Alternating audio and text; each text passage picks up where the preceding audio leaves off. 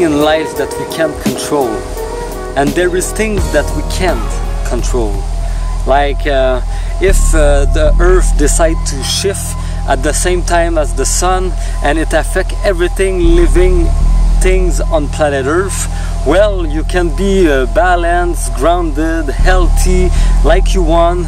You're gonna feel the effect of it. That's what I learned, and uh, you need to be able to be strong enough to handle these shifts that we're gonna experience more and more often every week from now on.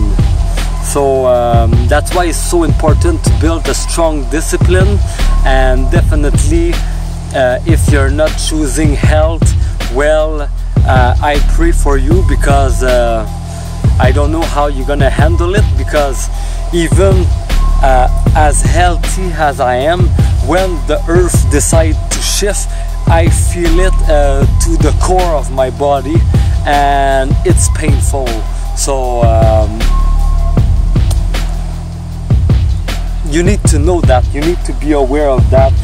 Wh whoever you are, um, there is things that we can't control and we need to be only strong and hold on because um, that's the only way to do it and that's a good way when you choose health when you choose to train your body, when you choose to move your body, when you choose to do a sport, when you choose to come in place where, like I am right now, it's like, wow. it's hard for me to describe how beautiful it is, but it's the reward that I have, that I push so much into the right direction to better my life. And by doing that I inspired millions of people who's watching me that are able to apply these good stuff into their life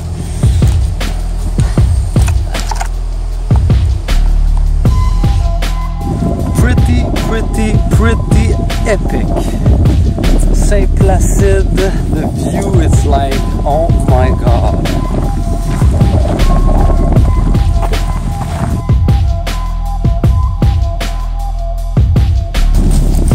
Hey, that's what I need. Some green space.